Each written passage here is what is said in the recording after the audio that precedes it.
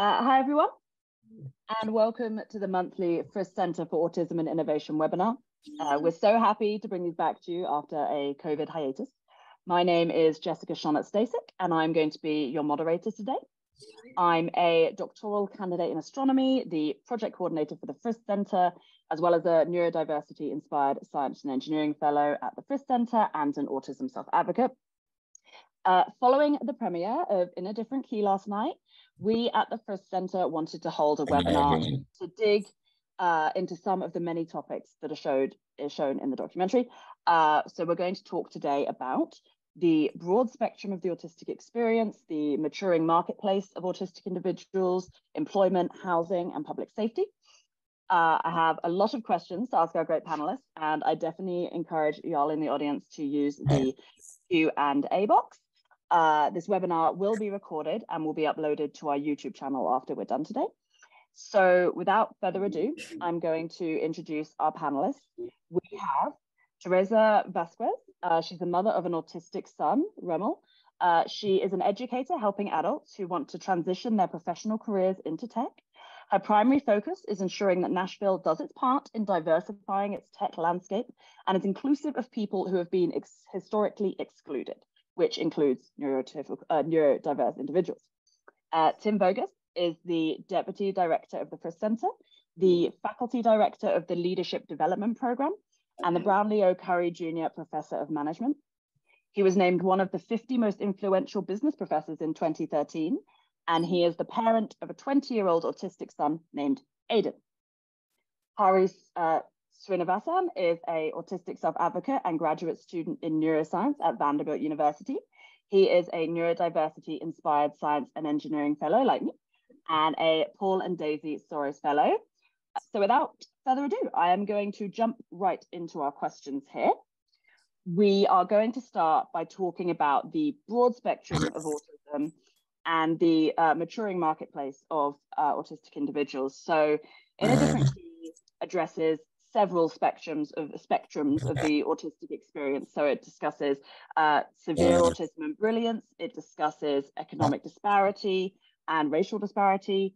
So we'll begin with some questions about the varying degrees of the autistic experience and what it's like for the maturing marketplace. So these are people who are aging out of the resources of education and into the adult world. So that was a lot of words for me to say. So let's let's get going. Uh, I'll start with a really broad yeah. question.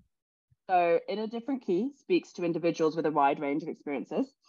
Because autism is a broad spectrum, how do we work out what does and doesn't work for whom in terms of support? And how do we make this accessible when there's so many different needs? So, I don't know if anyone wants to go first or I can just shout names. Did you see my last email? You are not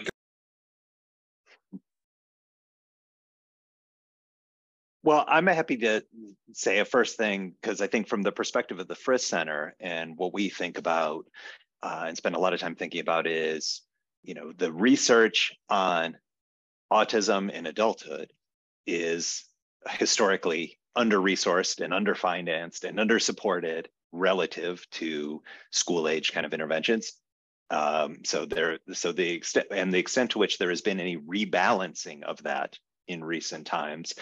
Uh, you know, the study of employment has tended to be where there have been, you know, efforts to recruit folks. So it's tended to be a really narrow and selective slice of the autism spectrum. So it's folks who are highly tech interested, who many of whom have completed college degrees or have really specialized technical skills for doing things like cybersecurity and things like that. Um, so I think you know, the first thing we can do is kind of expand the purview of how we think about the adult experience and kind of capturing more tra life trajectories of experiences. So, kind of taking some of what I think the film does so expertly and applying it to a much broader swath of people so we can really fill in those kind of lived experiences over a life course because the amount of uh, research on life course in autism and employment in autism is really restricted at this point. So, from a researcher standpoint, I think that's one of the big things uh, we can do because I think um, you know it's better to have some employment options, than none, but you also don't want to replace no understanding with stereotypic understanding and say autistic folks do these jobs, and rather than uh, thinking a little bit more broadly. Yeah, I, I, I, like that. I second that. Um, I also think too that we could do more to provide services for families because families know their um, the, their loved ones individually, right? So if we're talking about scaling, if we're talking about being able to meet the needs of uh, of you know kids and adults um, on the spectrum, then who better than the people who are with them every day? Right? So I think expanding those services and ensuring that they have the support that they need, because ultimately, I think one of the things that stood out to me that kind of took my breath away uh, was when the dad was talking about his son, um, you know, his his young son. He's like, "I'm it. I can't die. I have to be immortal." And the concept of that just like really hit home for me because I'm like, oh my gosh, like he just it very simply like and eloquently stated what I feel every morning. Like, oh, okay, good. My eyes are open. You know, my son's going to be okay today, we hope, right? Um, so I think providing those services so that families can leave a legacy or leave something that can help support uh, their loved one because like you said it is a spectrum and so it's going to be hard to provide you know individualized highly individualized services from external resources so that's that's what i, I think would be a good idea for us to focus on would it be okay if I built on that, Jess? Because I think Dr. T's point is really awesome there, and it really speaks to our my experience as a as a parent as well.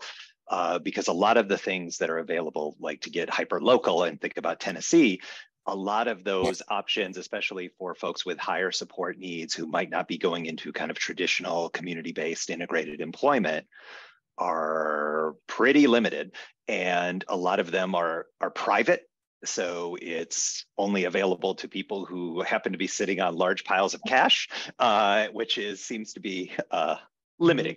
Uh, so I, I, I, completely agree with the point with thinking about what are what are kind of supports, what are community kind of activities, what are kind of community entities that can make a make a difference here.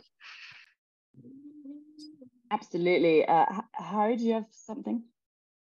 Thanks, Dr. Vogus and Dr. T and Jessica about the movie. I want to start by comment what I absolutely love about this move was the utter genuineness of autism. By highlighting how others treat autistics as both darkness and hope, but there is a chance to belong. To give you a perspective on what autism can look like, a little more about myself on the disability front. I do have significant challenges that present multiple obstacles to my everyday living.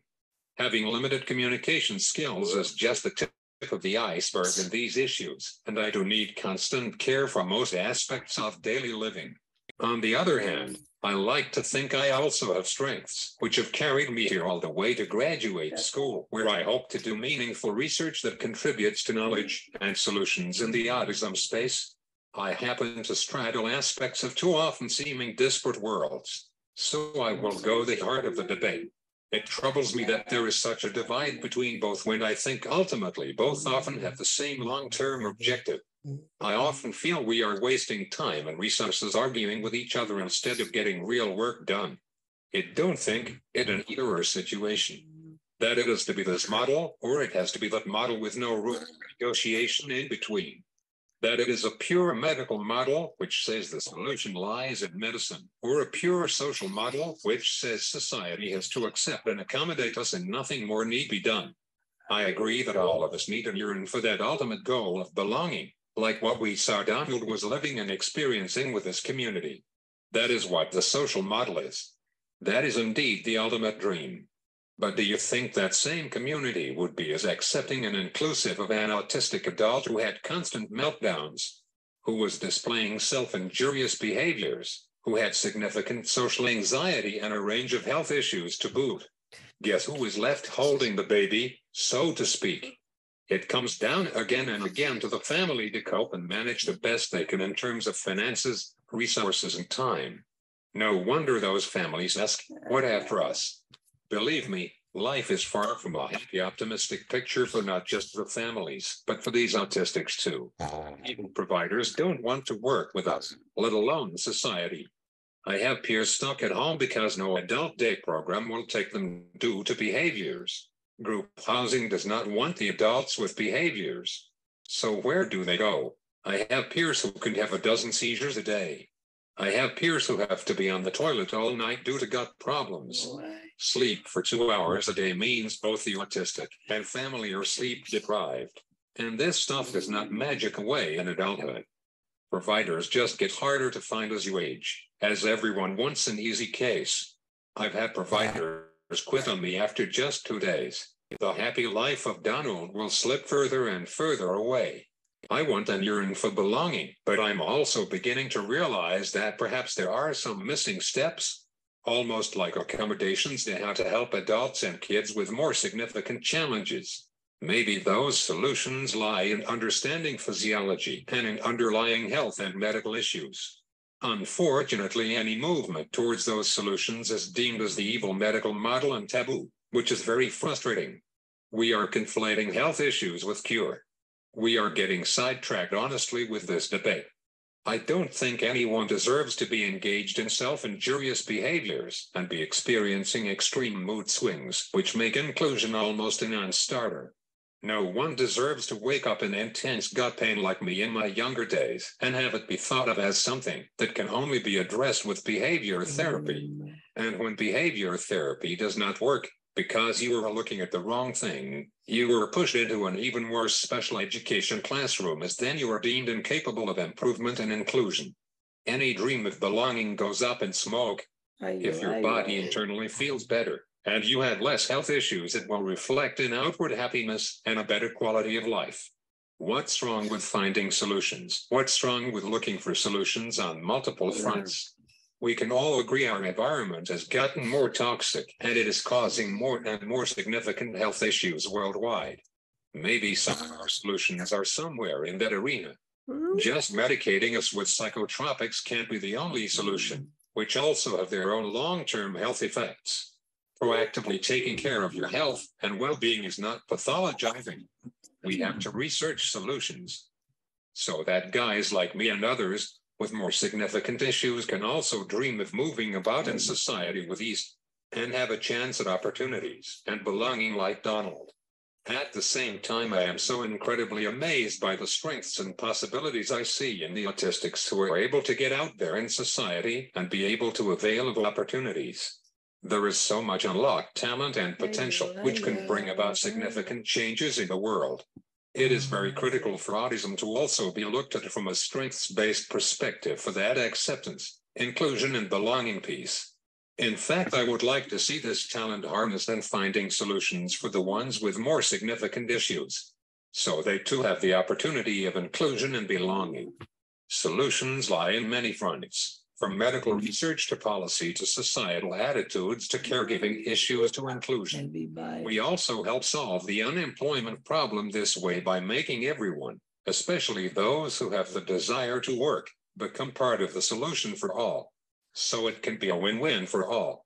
I also want to point out to a Sins Invalid principle of disability justice, which says when you address the needs of the most marginalized, you address the needs of all. In fact, I would point out that I admire that Donald is a healthy, active senior, but I doubt if many of us will be. Current research seems to point to a lot of health issues we are going to have as aging seniors. If you get a chance, read Alice Wong's piece on caregiving for her recent health crisis. Isn't it better to find solutions on both health issues and caregiving now when we are able to do something about it rather than when we are all tottering senior citizens? So I want every autistic family member and ally to think about how they can be part of the solution. So it's almost like we have different degrees of needs, and some of us have legs in many issues, so we need solutions on many fronts. Why then are we having factions and fighting? Thank you, Hari. That was a really deep and interesting answer, and thank you for being so genuine about your own experience. Um, I think that you've mentioned you mentioned in there uh, a couple of aspects of the medical model and how it relates to the social model. Um, and that kind of brings me nicely to the next question. And I'd love to hear from Dr. T and Tim about it because um, they are parents and they uh, might have some thoughts on this. So in the documentary, and you kind of alluded to this, Hari, uh, so there's a parent called Amy Lutz. Uh, she discusses the challenges surrounding severe autism, which can include aggressive behavior, uh, she discusses her own son, Jonah. um, who has had aggression in the past and also cognitive impairment. She says she does this because it's important to ensure that those with the most profound needs are central to the conversation. Um, but some and something that particularly caught my eye or ear, I guess, uh, is she talks about where neurodiversity and this kind of this social idea blends into pathology, um, and how some researchers are talking about autisms now, like the different shades of it. Um, so I was wondering if uh, Dr. T and Tim, you, I, I don't know the severity of your um, children's uh, autism, but do you have any thoughts about the pathology of neurodiversity and how we can make sure that those with the most profound needs are central to the conversation? I'm still trying to digest what uh, Hari shared with us because I feel like that is the i mean I, I feel like the webinar is over now because uh, you touched on everything you know um, and really hearing it from you i think even means more i think because you know we can talk about these things but as neurotypicals i think we're trying to uh, survive or at least I, i'll speak for myself right? Um, so my son early on was um, um, Amy, I, her name was Amy Lutz, right? I think that was who you said um, had mentioned in the thing. When she was describing her son, she was showing some of the things that he had endured when he was younger. That was my son to a T, um, which is why I was concerned, right? And I, I literally thought it was a behavioral issue. I did not think it was anything um you know internal because that's just the the culture that i grew up in is kind of like you know some kids and when i think about my son i think about a lot of kids who i went to school with when i was younger too who were very very similar. Um and it's like once you understand um as a parent like which that there is like autism it has a name that's why i say it, it, got a name like the first thought is is okay because we live in a society that is medicated right? Do we do we go with something you know that can help us cure this or is it something that like we can accept? And i think there is a fine line there um and my son now is not like he is able to you know to go out to go to school. He's in college now. Um, he still, you know, has some struggles. Um, he reminds me a lot of um, the the main person. I, I, don't remember names. I'm sorry, uh, but the main person, her son, um, who was living in his own kind of place in Arizona. Um, that my son is very much like that. Um, and so it's it's one of those things where I don't really know. Like I don't. I'm I'm not qualified to answer that, but I just feel like I felt Amy's perspective because my son is not like her son, right? And I think a lot of times we we think, oh, to what Tim was saying earlier, you know, we think about these high, you know, aut- autistic people who like are able to, you know, function in the day to day, right? They can go get these high tech jobs or do these things. Um, but we fail to realize that there are others who need some support um, along the way that might be pathological, right? So it might be something that like needs, you know, pathology might need to help or medicine or something um, might need to help. Um, and I'm, I just, I'm not qualified to do that, but I just, I empathize because I've seen both sides of it. Um, and, and I just didn't know what to do as a parent. I just did not know what to do. So yeah, so I think this, you know, the perspective uh, reflected by Amy Lutz is something that is both in the research world, in the practice world, and in the advocacy world right now, as there are a number of folks advocating for this idea of profound autism, quote unquote. And I, I, I worry about that, even with my son Aiden being somebody who has co-occurring uh, intellectual disability, co-occurring seizure disorder, co-occurring dyspraxia with autism. Um, so his support needs are high, uh, quite high and um, but I think this kind of setting against each other, profound autism, and that's the real autism, and this other is a different kind of autism that's not real, right? Like you know, because you know somebody can publish papers in top tier journals, like like like Jess, like you and Hari can, you know, like that's I think that's the wrong approach to make it a competitive thing rather than to say, yes, people have differing support needs, and that's what we need to attend to. So now that might be hard from a policy choice, a policy standpoint, because resources are finite and trade offs have to be made. But I think what I view my role as, as a parent, as an advocate, as a researcher in this domain is to get people to rethink, you know, because I had to rethink at various points in my life, you know, how I approach um, Aiden, and also to get employers to think a little bit differently too, where you're thinking a little bit more about an individual and listening and being willing to try things being willing to make mistakes being able willing to adjust and adapt as you go and and i think we would be in a better place with that kind of shift in mindset a little bit about saying you know that autism may manifest in different kinds of ways. There is probably some coherence in the underlying nature of it but there's also some difference in expression. And what that difference in expression means we need to be adaptable in you know what people need as a result. And hari's points about not pitting you know forms of autism or the medical versus the social against each other and to say we need to think more holistically and in a more integrative way about this i think is a is a is a right course of action. Yeah i agree with that tim. I agree with that uh 100% because i think too the pitting against each other what, we're talking about socially. So um you know in in that same breath you know i remember when her son was getting a haircut and people were kind of stepping over him. Um, to me like the concept of um, seeing that like you are different and not being like put all like we, we need to get our people. Like neurotypicals we need to get our people and we need to check them right? That's literally what we because we need to understand that people are people and people are valuable and people have things that they might be you know enduring autistic or not right? We should just treat people kindly. And i think that's that social aspect that has to become apparent so that then it becomes something where we start to question our approach right? So like why do you if you need help why aren't we giving it right? I think it doesn't become important to us until it social yeah so making sure so making sure that uh you know we don't pit those two things against each other because they are different right they they they hit each other but they are kind of two different um, areas as well so great point i love that yeah, and I love the point you bring up about uh, you know the failure of empathy seems to be the neurotypical failure of empathy. We always talk about you know in research, and Hari started to do some research in this domain, and I've done some uh, starting to do a little research in parallel there. That you know this presumption and this incorrect belief that autistic folks don't feel empathy. No, it may be, it may take a different form. It may look manifest in a different kind of way, but it's certainly empathy. And there's plenty of times where neurotypicals really struggle unless it hits them in a really personal and deep way about taking the empathy of the neurodivergent perspective, whatever form that might take, including autism.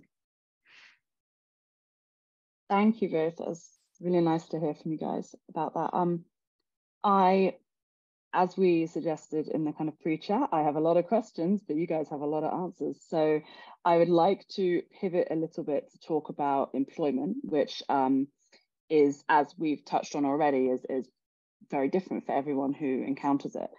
Um, but one question that I highlighted because I've experienced this myself, but also I know that Hari has uh, had some thoughts on it, was that uh, COVID 19 has caused a real shift in the way we work. I'm sorry, I hope that's not too much of a jarring change of question, but uh, so it, it's changed how we work, right? So in person versus remote, and also contributed to what people are calling the great resignation, right? Like lots of people changing careers, lots of people moving their jobs. So these are the two factors I thought of. There probably are a lot more. Are these factors do you think an opportunity for candidates with autism? Has has remote work improved engagements? Have you guys got any thoughts on this?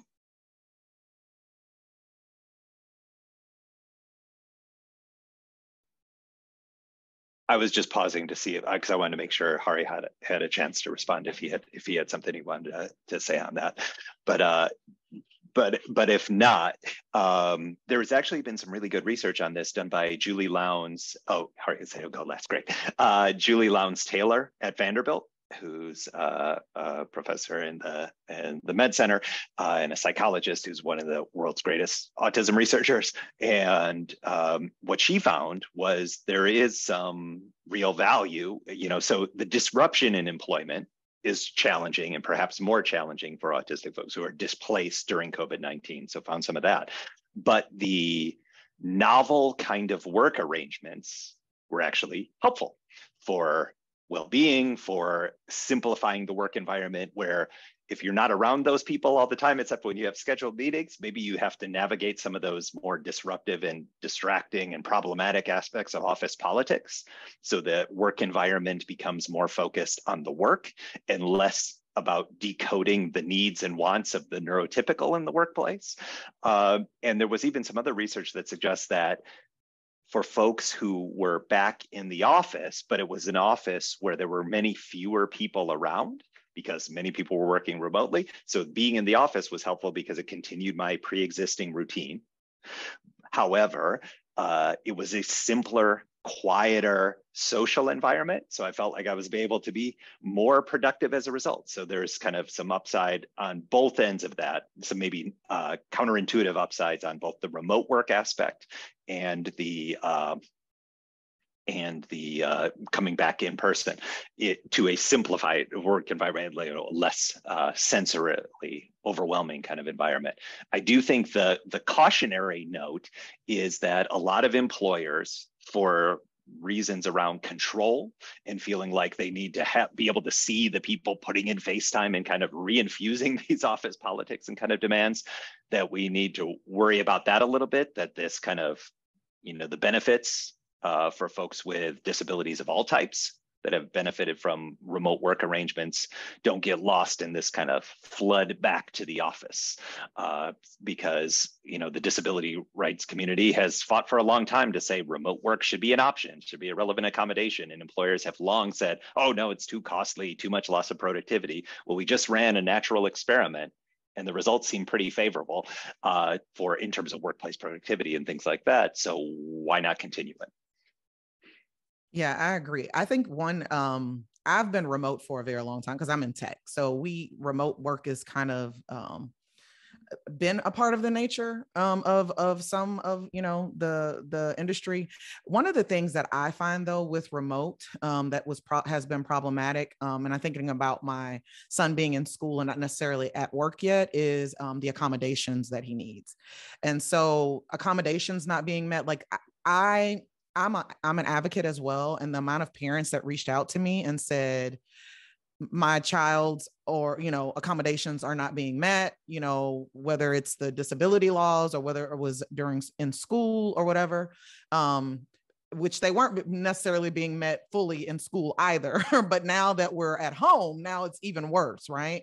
Um and so that's a fear that i have is that you know as we're talking about um autistic people being a part of our communities and being integrated in our communities, the concept of working at home, there are days that I don't leave my house right? And so i do feel hidden and i think we need to make and i have to make a conscious effort to say hey go out and be with people right? And i think that could potentially um, become a part of it as well and just also kind of like this is not just with autistic people but just the expectation that work is work and people are not people and people don't have needs um, that are remote so the work just becomes a little less friendly, I guess, um, in one of those ways too. So like those are the things that concern me when I think about my son, um, you know, potentially being remote or even on his online classes and things that he took. I just I, I found that that um, Tim, to your point about the um, him his his schedule being messed up was the first problem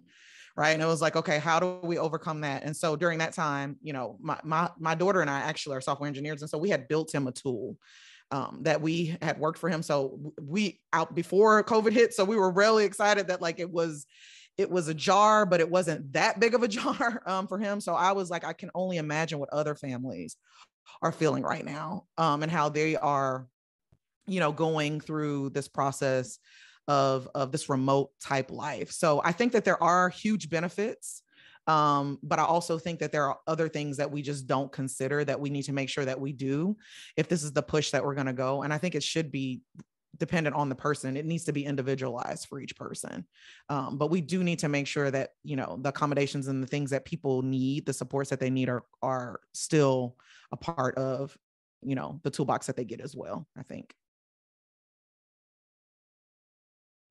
Beloved with the idea that you can work hybrid or remote has been a game changer really for mm-hmm. folks like me. Mm-hmm. It means not having to sit in a cubicle from nine to five for five days a week. It means flexibility in how I can work. It makes me more productive I don't want all remote either, because then we become invisible so society forgets that disabled people exist. I don't mind socialization.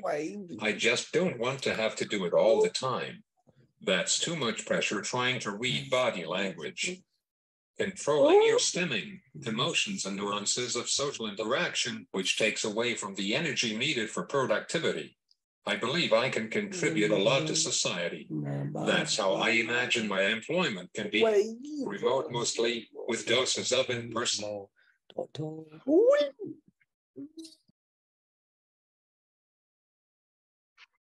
I, I want to build on Hari's point really quickly about the um, idea of the kind of hybrid kind of approach. I think that's I think that's spot on. And Tsedal Neeley, who's a, prof- a professor at uh, Harvard Business School, has written a great some great work on uh, on digital the kind of digital revolution and work and remote work and things like that. And she's written some about uh, so-called anchor days that organizations have. And this is mostly for professional work and probably things that are very familiar to Dr. TB and in the, the tech space, right? Where you have the teams kind of get together periodically. Maybe it's two days a week or three days a week, but there are other days where people are remote. Uh, and it really, you know, you focus on those activities together when you need to have high coordinating to have that socialization, to have that kind of connection and deepen some of those connections in teams. But it seems like that we might need less of that than we think, but we still need some of it. So, right, it's about finding that right balance. And I thought Dr. T's point about uh, the, you know, individualizing of it is super important as well, right? Like that different people have different needs. So I, when I think about Aiden during COVID, you know, in terms of like remote learning for him, that was a non-starter. So it was about thinking about what's a safe way to deliver the supports to get the kind of education that he was entitled to by law during that time right like in trying to figure that out right so it requires a little bit of different kind of thinking it's not just like all right well, let's go remote to keep away from the virus um, Jess, I'm what I know you're the moderator, but I'm wondering about your experiences on kind of remote work and things like that, and how you think about that. You know, because you're engaged in it now. Yeah. um, I, I'm happy to give my opinion with yeah. So for me, uh, remote work was a game changer in two ways. So the first one being that I I actually I live in Hawaii. I don't live in Nashville. Um, and for me to be able to be a graduate student at Vanderbilt uh, was basically entirely benefited by the fact that remote work became more uh, kind of uh, available and the technology was there. Um, I kind of came into my neurodiversity and my understanding of it about halfway through a remote work environment anyway because I'd done some of my other studies remotely also.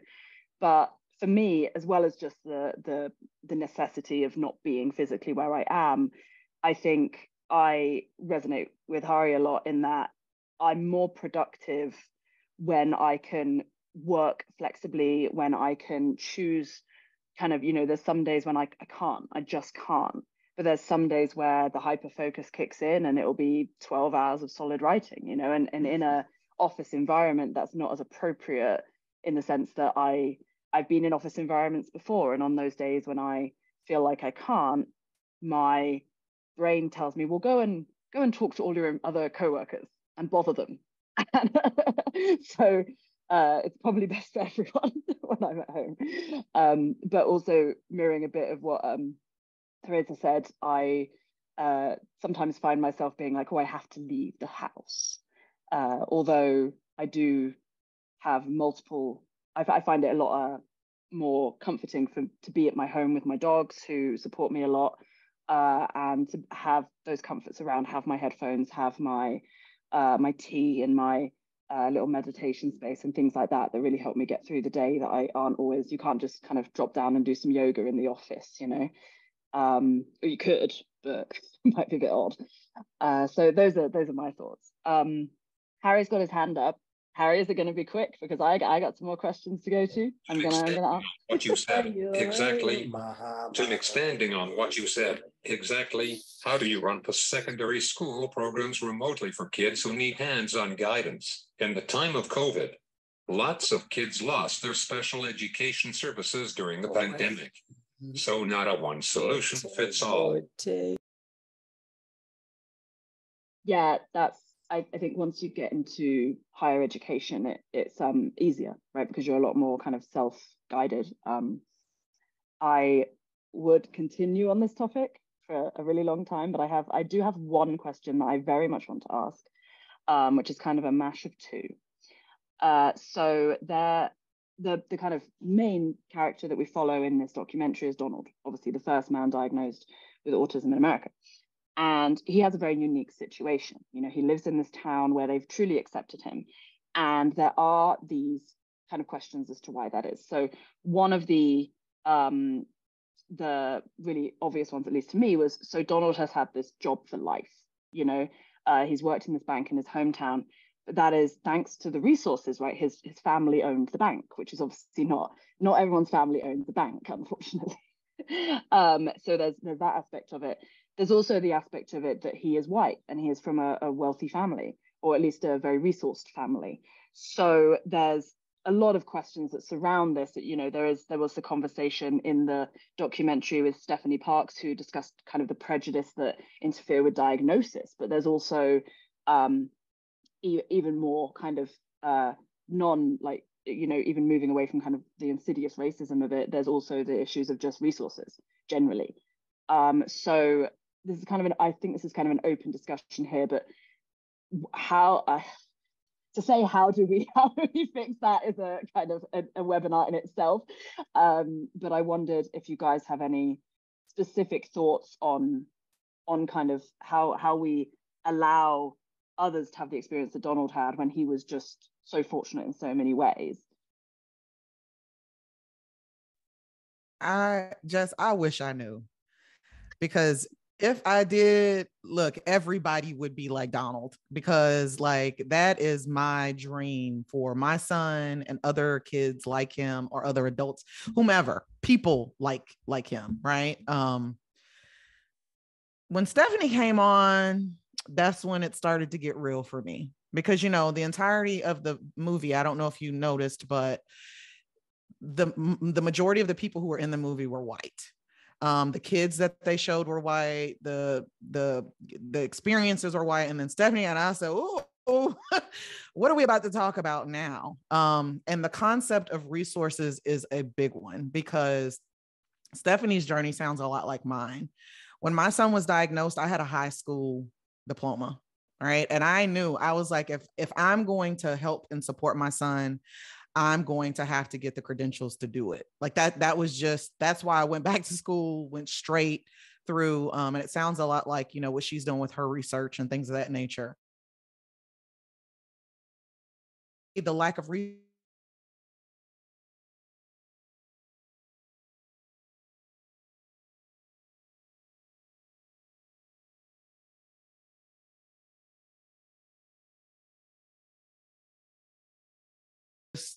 turning on a blue light for a month you know what i mean? Or you know or donating on give tuesday you know what i mean? We need to talk about um, how do we care for people period right? Um, my son is at, at the point right now where he can't get help from any you know if our family weren't able to take care of him i don't know you know where he would be. And so i think of other families that are very similar because of the resourcing you know kind of things or whatever.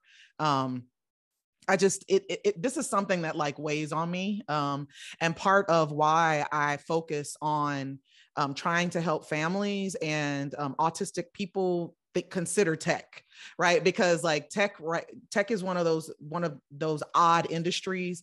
Um it's plagued with racism and sexism and all the isms that you can think of as well.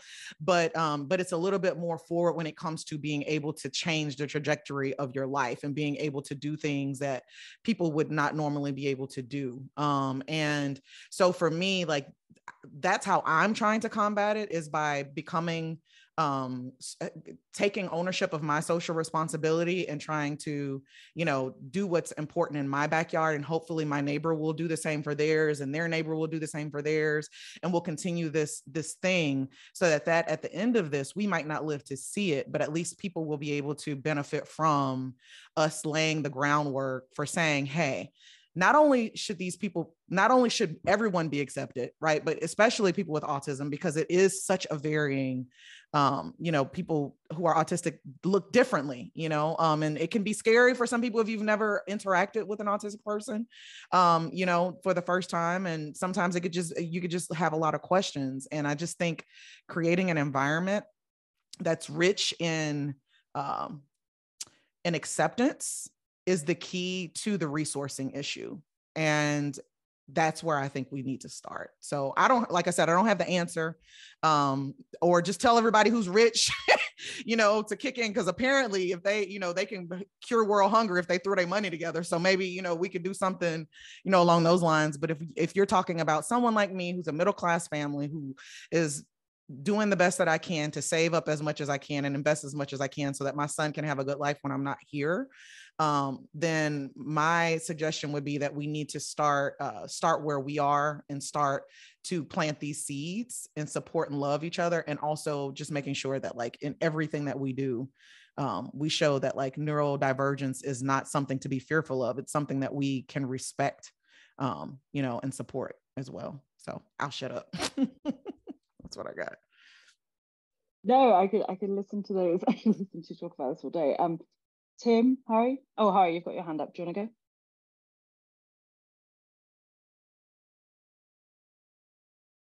You're muted, Hari. There we go. Donald is really the dream example of belonging. So I have to ask if it is associated with privilege, resources, and race. These meant that he got included from an early age because thoughts where you form long lasting friendships. Not charity, but friendship. It's a rarity for most of us to have people around you are not paid to be around you. That's a dream of mine to be surrounded by people not paid to be around me. It's a lonely life because all those paid people leave for another job eventually. The best of support staff leave in two years at best, and it costs money. How long can these costs be sustained? Also, the point about how racism is so quiet and insidious was well put like our use of the word whopping by a black mom leads to child protective services, where the child is taken away from the mom, versus the use of spanking by a white mom, which means she deserves more respite care so she has time away from the child to recover. It is a fact that blacks and Hispanic kids are more diagnosed with conduct disorder or defiant disorder than. Uh. It's almost like skin color screams a stereotype of delinquency to clinicians rather than disability.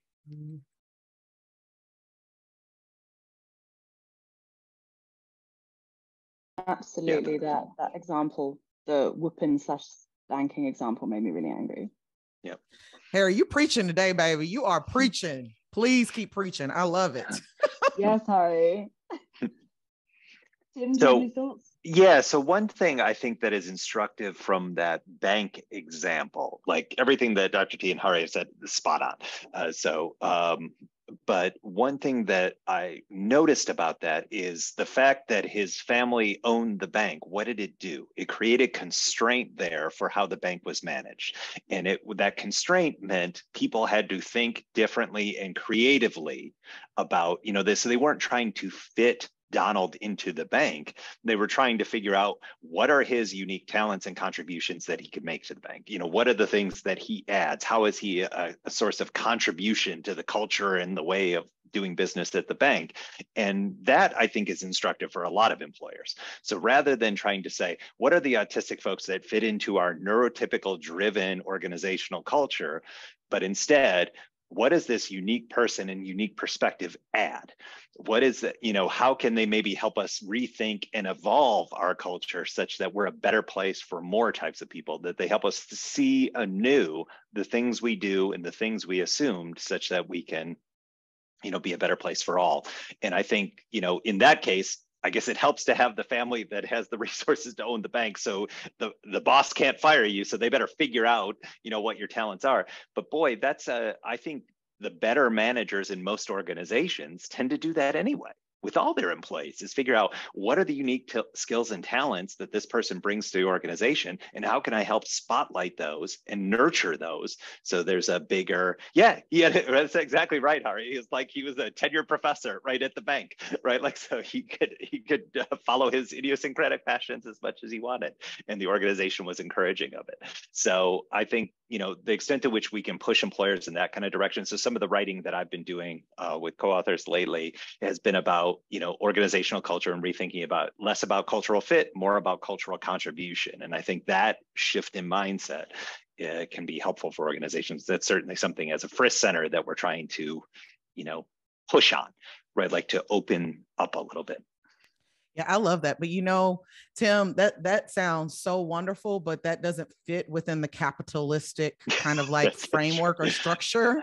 Um, to the point where I'm like, you know, like this needs to be required. Like yeah. we, we are yeah. right now it's optional, and then yep. you know people will do it. Like I said, for a month. When I said that month, I wasn't playing about that month, right? They come through on the month and they put some cute, cute stuff on social media and yep. they you know yep try to identify if anyone in their company is neurodiverse so they can use them for that month. And then after that, it's kind of like business right. as usual, right? Yep. This needs to be ingrained in our society yep. that like yep. the, these are the expectations whenever you're dealing with someone who has a special need, autistic or otherwise. And I think that some of us because i hope hopefully i'm one of those managers that you're talking about right so hopefully when i guide my teams and the people who i'm selecting i'm very much open right not only to the job, but like, how are you going to like uh, brighten up or encourage the people around you you know with the with the with the skills and the strengths that you have which is what we're really looking for but then also understanding that like we all have struggles right uh, exactly. that we bring and so like that's uh, that's human right that's human to be that way um but i think you know we're at a point now where it's like you know humans or excuse me workers are like numbers right it's like if it doesn't align with uh, our profits then it's not it's not a program you know an optional program that we can do the same as any dei program or anything like that it's this yep. optional type of thing that can opt in or out yep. of and i think that um, we need to hold companies and organizations accountable um, for that because that's really where we're going to drive the most change. And it starts with we show up every day to a job. Most of us do um, and we are complacent in most in most more ways right we look around like i always say usually i'm the only black person in the room for tech usually the only black woman and I can't just show up and be like, I'm okay with that. you know what I mean? Like I've got to bring other chairs and other seats to the opportunity to the to the table as well. You know, um, it's not all on me, but you know, I can't just be complacent. And I think that's the same way with us. We need to have this level of desire to see change so that we can also yep. be a part of that change because we can't ask the victims of this thing to to, to hold up you know to, to do That's the work. And so you know i think i think it's we we just need to start holding each other accountable like point blank. That's what we got to do. Yeah right right. And and I, I think your point is spot on about taking it in a kind of holistic way right. We're thinking about policy levers that make it not optional where we think about you know a thing i spend a lot of time thinking about in my own teaching and in our curriculum at the Owen School is how do we train business leaders of the future? How much of is this part of just the expectation of being a business leader means you're attentive to this, right? Like to neurodiversity, and you're really thinking about it and internalizing it and seeing it in a way and you're having experiences with neurodivergent others, right? Like if you're a neurotypical manager going through, right? Like so you understand more and you see more and you see more possibility and there's also you know uh, examples that you can draw upon um, and you have a better toolkit for doing so. So yeah so there's a lot of rethinking that needs to go on and i i agree with uh, wholeheartedly with the point about need for accountability. And i think you even said at the beginning dr t like wait neurotypicals we need to get our own or check our own or something like that right? Like that's yes. that's really important right? Like to have that kind of calling out. So it's not just self advocates who who shoulder the burden of this right? Like people who are probably the most in the most vulnerable position to do it mm-hmm. shouldn't be the ones that have to solely do it right? Exactly. Love it. Absolutely. You guys are spot on with all of this.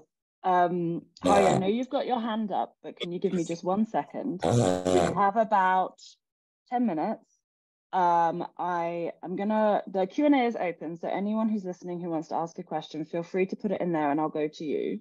Um, although we have quiet attendees, but I think it's because you guys are so um so engaging. I'm just like listening. It's very very good.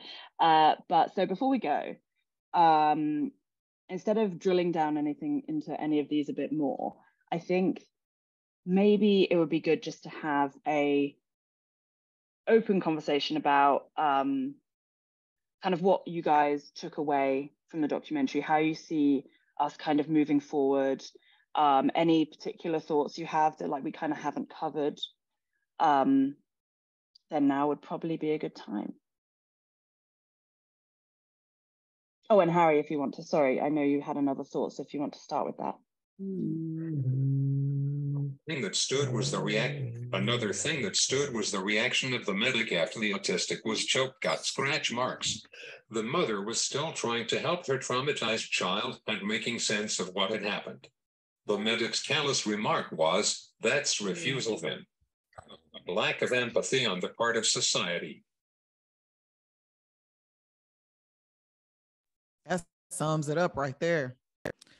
That sums it up right there. Like we just, if it's not in our face, right, then we don't care. We're part, we are a part, y'all, look, we are a part of a society that is very much like, I'm going to worry about what's here. And when that shifts, then I'm gonna focus on that. Um, there's so many, now don't get me don't get me wrong there are a lot of things in the world that are wrong right there are a lot of things that could that could use some solutions there are a lot of things like that but i think when i look at something like this documentary you say you know if you're a person who this who is not impacted by this you say oh that's that was a great movie. But you just literally watch people's lives. And like when that when that documentary goes off we still live that every single day. And i'm not telling you that you have to like come live with me and be a part of all of that. But what i'm saying is is that you become cognizant of the world that you live in and realize that everyone is different and everyone is not going to approach life in the same way and so if this documentary does anything, look at your community and see how your community, if you look around, do you in, in your day-to-day life, do you see anyone who's like Donald or like any of the other people who are inside of that documentary? And if the answer is no, then maybe you need to spread out your world a little bit more. Cause trust me, here in Nashville alone, like autistic people are out here. You know what I'm saying? They're they're out here and they need our support and they want to be a part of the things that we do too, you know? And so I would just say look around, um, make sure that you know you are a part of something that is making the world a better place and if we're talking specifically about uh, neurodivergent people then i say you know make sure that you are always thinking or considering that thing. Like that's the thing that that resonated for me most because there's days that i just want to give up. And it reminded me that the work that i'm doing even though it's very very small juxtaposed to everything else is still something that's going to impact somebody's life. And even if it's just my son's life then that's enough for me right? Um, so just to keep going every day and just waking up and doing the thing um, and reminding others that like people with neural you know who, have neural disorders or neural are neurodivergent they matter too like they matter. Um, and you know we just need to make sure that we we're all like yeah that's it. I, I, I the, the end of the movie is like coming back to me. Um, I shared with the panel earlier that like it, it, it really moved me um, in multiple ways, but really to hear my story over and over again because you you always feel alone, even though you're talking with people, and it's just kind of like, yeah. So I, I just think that we just need to make sure that like it's not diver- diversity is not just a buzzword. It's like it, it it's life, you know.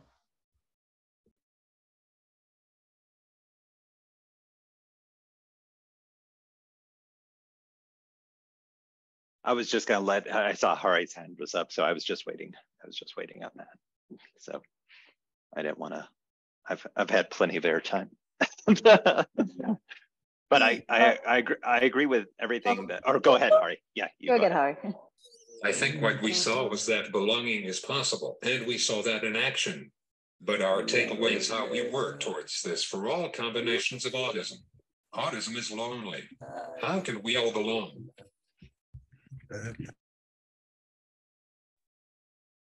Yeah, and I think I think that's the point, right? Like where we make those those boundaries more permeable, those interactions more fulsome, and you know, uh, create engagement across across neurotypes across different lived experiences right? Like that's that's something i think we hope to do with the frist center. So just it's great that you're pulling us together to have these kind of conversations and do you know restarting it with a regular cadence and things like that. I think i think it's great to kind of bring the world in this way to keep it ongoing. So it's not like dr t said you know you watch this film and boy that was great. I cried okay, I'm gonna go on with my life and change nothing. I, I felt it deeply for that that 90 minutes, but that was it.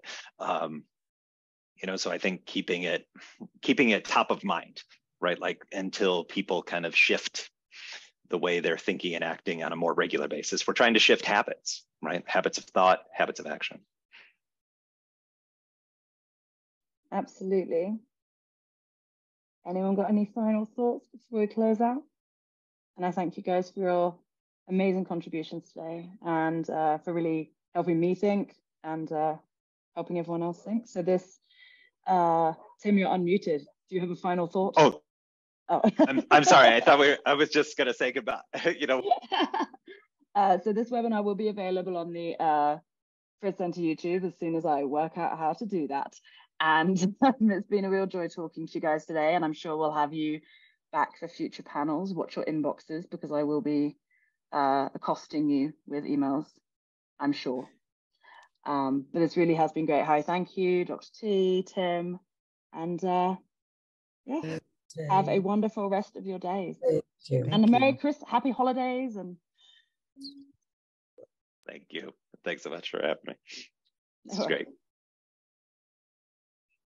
Bye. Bye. Ooh. Oh, thank you. I think I got frozen there for a second.